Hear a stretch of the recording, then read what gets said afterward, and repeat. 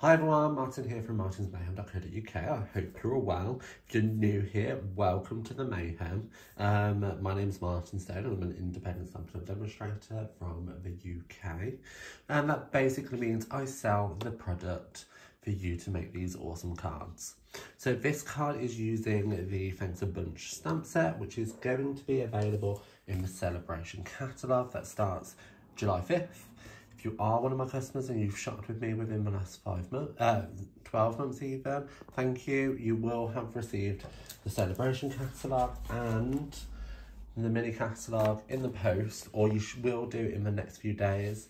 They were posted out during the strikes, and I'm hoping they're gonna they should be there with you already.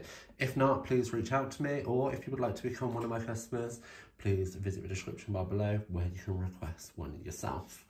So anyway this stamp set I'm just showing you the watercolor technique on this card. I'm not going to do a full tutorial um just because time. Let's just do like a top tip basically. So the Thanks Bunch stamp set is kind of this playful kind of design imagery. It's not very realistic, um, which doesn't really fit my style, so I wanted to create it more realistic, which is why I went for this watercolour look, and I just love the contrast between the stamp set and the final card. So I'm going to show you how I've done it. So you're going to need the image on a clear block. So I've got a clear block D, and there's a bit of tissue there. Um, and as you can see, it's dirty. I haven't cleaned it yet, but it's fine because I'm going to use it again. I'll clean it afterwards. So it's on a clear block D. You're going to need some fluid 100 watercolor paper, which again, all the products in this video are sold via my Stampin' Up store, so make sure you check them out and make sure you include the free gift code. So you get an extra free gift or an extra goodie from me, if that makes sense. I know what I mean, it doesn't make sense in my head. Uh, so I'm grabbing my pumpkin pie ink. Excuse the state of the ink pad, I really need to, I've re-inked it and it's kind of gone all to the side, so I need to have another play. But I'm just gonna ink up my stamp set. Uh, my ink, uh, my stamp like so, as you can see the ink's on there. I'm gonna grab my stamping spritz which is currently available. And I'm gonna give it two spritz of water when I actually hit it. I'm actually just gonna activate the ink on the stamp set and kind of ball it up and that's what's gonna achieve our watercolor effect. So I've got a scrap piece of fluid 100 watercolor paper.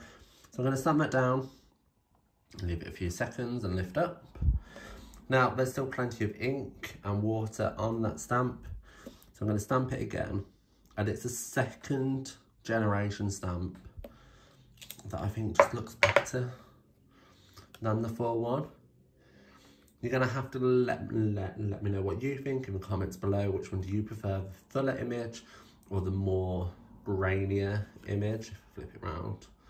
Not that I think that makes any difference. But you can see here I've used the filler images in the background and the second generation stamping on the front. And then all you have to do afterwards is with your image once it's dry, is just quickly firstly cut around them, which you can all spend a lot more time doing.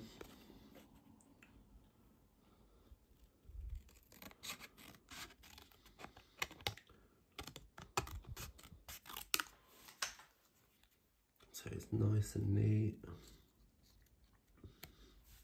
And there you have your carrot, which you can use on your card. So I hope you enjoyed this technique. If you have any questions about Stampin' Up or this technique or anything at all, please leave them in the comments below and I'll be sure to answer them.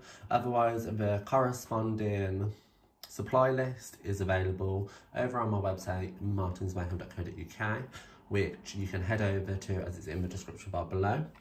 And yeah, that's all for today. I hope you enjoyed this top tip and I will see you later. Bye.